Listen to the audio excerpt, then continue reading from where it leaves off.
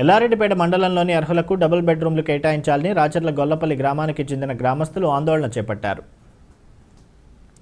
మండల కేంద్రంలోని తహసీల్దార్ కార్యాలయం ముందు బైఠాయించి అర్హులకు డబుల్ బెడ్రూమ్ ఇండ్లు కేటాయించకుండా అనర్హులకు కేటాయించడం పట్ల ఆవేదన వ్యక్తం చేశారు.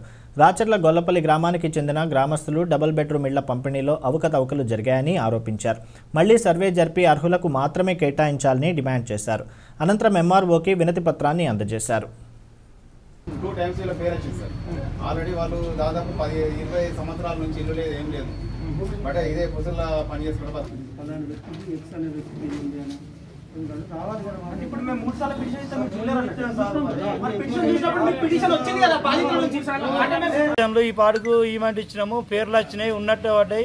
కొద్దిగా గుడిసెలు వేసుకొని బతున్నాము అక్కడ వేస్తున్నాము వాళ్ళకు కూడా పాపం లేకుండా చేసిర్రు ఉన్నోళ్ళకి ఇద్దరు రేళ్ళకి వేయలేరు వాళ్ళ పేరు పడగానే పేరు కట్ చేసిర్రు. ఉన్నట్టే పడ్డది జాగాలు ఉన్నట్టు చేసాయి వాళ్ళు పాపం వాళ్ళు కూడా కిరాయిలు బతున్నారు డబుల్ రూములు ఇవ్వమంటే ఎవరు ఇవ్వమంటే ఇచ్చినాము ఐదారు ఇప్పటికీ ఐదారు సార్లు అప్లికేషన్ ఇచ్చినా ఇప్పటికి అన్నీ ఉన్నాయి మరి పట్టించుకుంటలేరు అన్ని గ్రూపులు ఉన్నాయి సార్ మేము అన్ని గ్రూపులు ఉన్నాయి సార్. మండల ఆఫీసు. ఆ, ఈయనే ఉంటాం మేము మా దగ్గర అన్ని గ్రూపులు